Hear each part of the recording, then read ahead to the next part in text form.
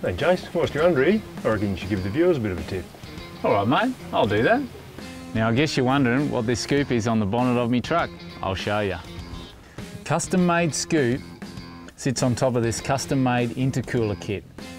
Now, cross-country intercoolers have cleverly designed this to reduce your air temperature going into your engine.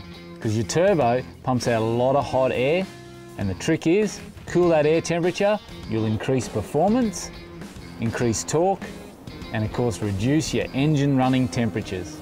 It's four times the size of your standard Nissan Patrol intercooler.